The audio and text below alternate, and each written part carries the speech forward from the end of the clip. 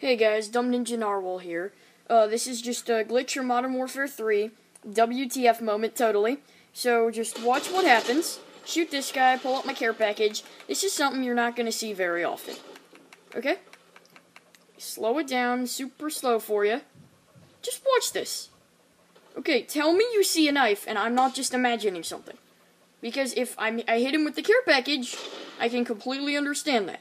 But I get the hit marker there, there's no kill, and if I speed it up a little, you're gonna see that I go right here. I knife him, and there's no hit marker. You guys see that, right? There's no hit marker. So it's a super laggy knife. This guy has body armor, or I hit him with the care package. Uh, your decision. You know, just post it in the comments. Send me a friend request. My gamer tag is right down there.